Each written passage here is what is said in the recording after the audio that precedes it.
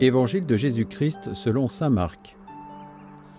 En ce temps-là, après la traversée abordant Génézareth, Jésus et ses disciples accostèrent. Ils sortirent de la barque, et aussitôt les gens reconnurent Jésus. Ils parcoururent toute la région et se mirent à apporter les malades sur des brancards, là où l'on apprenait que Jésus se trouvait. Et dans tous les endroits où ils se rendaient, dans les villages, les villes ou les campagnes, on déposait les infirmes sur les places. Il le suppliait de leur laisser toucher ne serait-ce que la frange de son manteau. Et tous ceux qui la touchèrent étaient sauvés. Acclamons la parole de Dieu.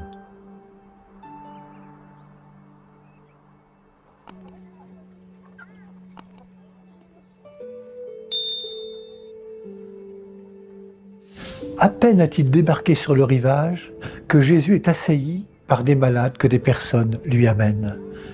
Et de village en village, la même scène se reproduit. Jésus est au cœur de cette foule de malades.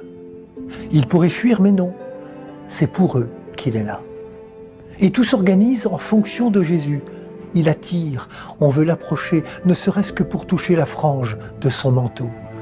À ce moment-là, pour Jésus, ces pauvres qu'on lui amène sont sa seule préoccupation. Il est au milieu d'eux et accepte la rencontre. Il ne se dérobe pas. Jésus va au contact d'une humanité en fragilité. Il est chez eux pour témoigner de la puissance d'amour de son Père. Il incarne ainsi le nom qu'il porte, Jésus, c'est-à-dire Dieu sauve. L'Évangile nous dit que celles et ceux qui le touchaient étaient sauvés. La voilà, la bonne nouvelle. Le salut offert à toutes et tous. Le salut, c'est l'œuvre de la vie de Dieu en nous, une vie qui grandit parfois malgré la souffrance et les questions.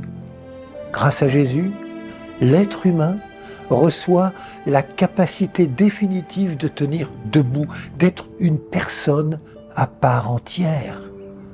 Le salut recrée l'homme et la femme et les remet en marche au sens propre comme au sens figuré. Et nous Croyons-nous que Jésus est source d'une vie puissante qui va au-delà de toute forme de maladie, de ténèbres et de péché Osons ce jour nous approcher de lui.